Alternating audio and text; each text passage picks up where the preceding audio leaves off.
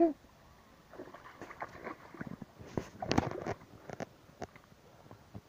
Swim. Llama, go. Woo! Woo! Go swim. no, he doesn't want to swim. It is pretty cold. It's like five degrees apparently, the water. It's coming straight from the mountains, so it's pretty cold. Oh look, there's a duck.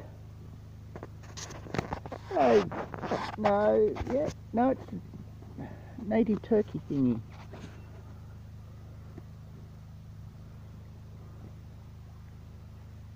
And we've got a nice flow today.